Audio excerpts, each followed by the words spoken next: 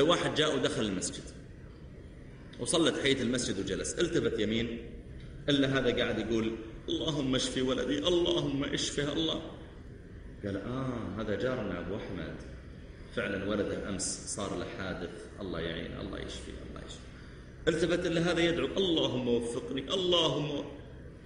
قال آه هذا فهد ولد جيراننا. فعلا مسكين صار له متخرج من الجامعة سنتين ولا عنده وظيفة. الله يعين الله يرزقه يا أخي الله يرزقه بعدين جاء صاحبنا بيرفع يديه أنا الحمد لله كل شيء طيب. سيارة. عندي سيارة. بيت. عندي بيت. زوجة. عيال.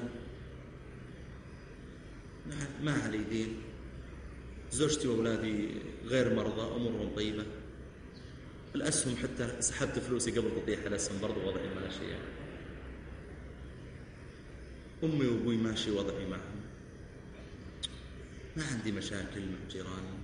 صحتي الحمد لله ما فيني إلا العافية. آه عيالي موظفين يعني ما آه شكرا يا ربي ما, ما في شيء. بالله ما في ناس كذا. وياخذ مصحف ويقرأ. شكرا ما ما نبغى ندعو ما ما ما نحتاج. يعني لازم الله ينزل على راسك مصيبة عشان تدعو. لازم ولدك يخطف. ولا ولا بيتك يحترق على عيالك ولا تنزل مع الدرج وينكسر ظهرك ولا يصير لك عشان تدعو. يعني لازم بالقوة يطلع رب العالمين منك الدعاء. الوقاية خير من العلاج. يا أخي ادعو الله أن يكفيك الأمراض والاسقام والاورام والبلاء قبل ما ينزل بك. شوف بالله عليك كيف كان النبي صلى الله عليه وسلم يدعو. رفع النبي صلى الله عليه وسلم يديه يوما قال اللهم إيش؟ اقضي ديني ما في دين. اشفي ولدي؟ ما في ولد مريض. أصلح نسائي هم أمهات المؤمنين أصلح النساء. تدرون يا جماعة ماذا قال؟ قال اللهم اسمع دعاء حبيبك صلى الله عليه وسلم.